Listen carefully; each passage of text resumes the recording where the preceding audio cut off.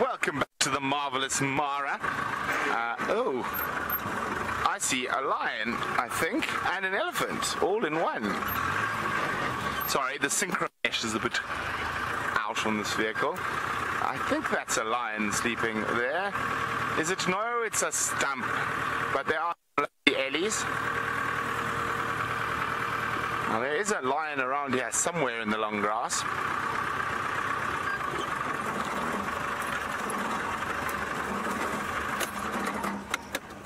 So I'm just trying to have a quick look. Uh, apparently there is a lion very close to where these elephants are, but they're off the road somewhere. We might not be able to see them.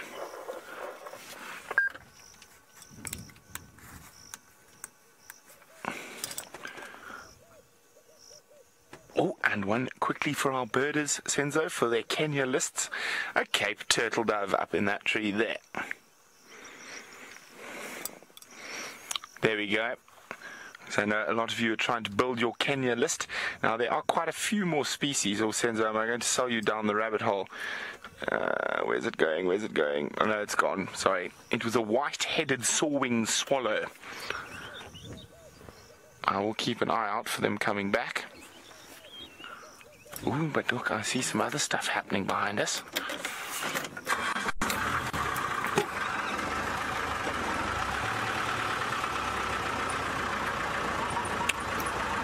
Something just disappeared into the grass next to us here. Now, some of you might have seen it, some of you might have not. I can hear it. I can hear it. Where are you hiding? It's about here. And it's being a trickster.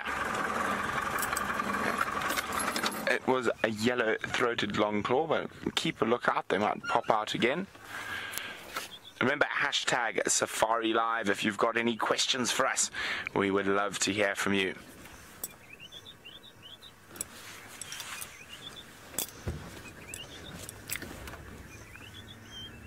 Wait one second, I'm just going to go have a chat with one of the Angama guides.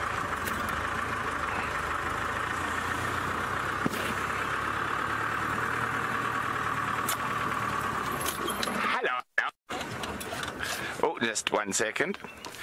How are you today? How's your game been?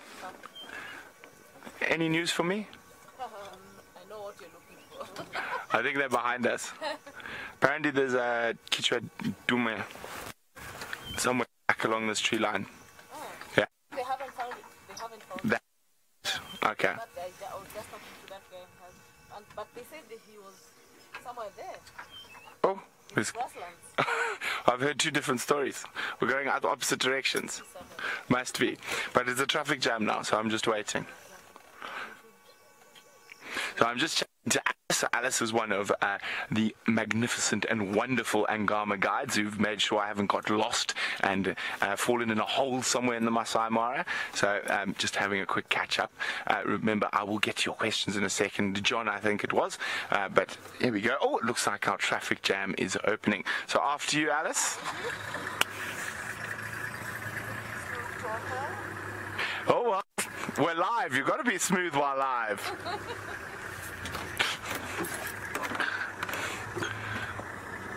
Okay, so we've just this is why there's such a traffic jam in this particular spot is uh, there's a, a lugga and what a lugga is is uh, what we call a donga or drainage line. The big difference between luggas and that we get in the Sabi Sands in South Af- Safi Safi um, in South Africa is of course that most of these are filled with water here and with this volcanic ash that makes the soil so wonderful here makes them very very sticky and muddy. So there's very few safe spots to cross them. And this is actually a little bridge across them. So yeah so it sounds like there we go you can see here. Well exactly a raging torrent, but I, you would definitely get stuck if you tried to drive through this little lugga here.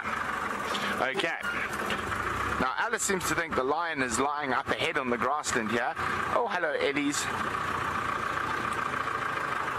There we go. I'm just going to sneak past the elephants.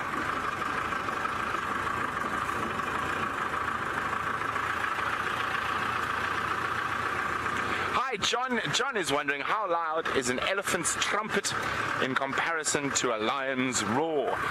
Oof.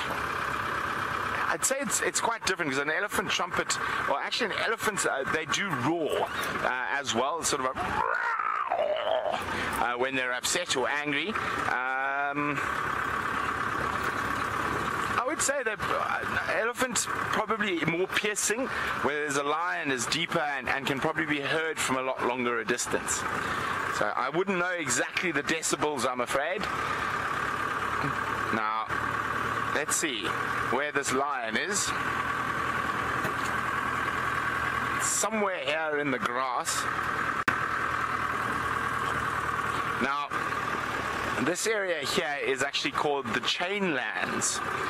Now that sounds like a very strange area or strange name for a for an area, but apparently before this was deemed a no off-roading zone, many people attempted, and what happened is they had to get, come and get pulled out by a tractor with a train, with a chain, not a train. I lost my train of thought. Ooh. Oh, sorry, we're just trying to see now. Now, would you believe that a massive male lion can sometimes be incredibly difficult to see? I think he's quite far, to be honest. Ah, there. I got him, I think, Sens.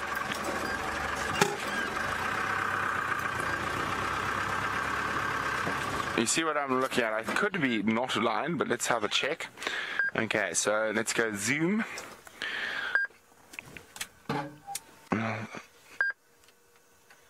Okay, slow down, slow down. Um, okay, zoom a bit more. There's a stick. And let's go to the left slightly. There, what's that there? Just zoom in there. That is very much a stick. But did you see in front of the stick, Senzo?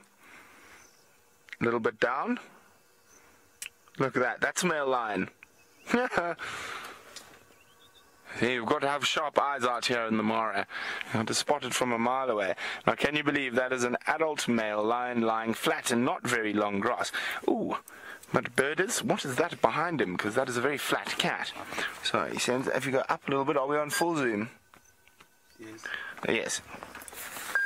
Yeah, so um, I just want to have a look in my binoculars. It is quite far away, but I'm pretty sure it is just a, it's a fiscal shrike in the distance.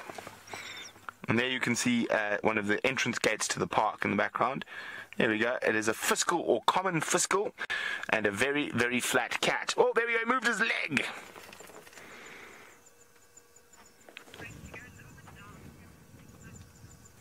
Um, so we know where the cat is. We were looking at the bird, but because uh, the cat is so flat, I, I, I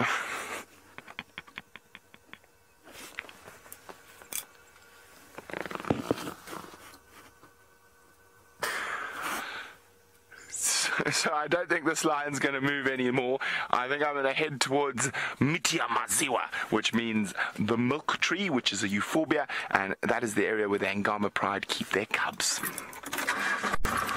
Before we get caught in another traffic jam around a flat cat.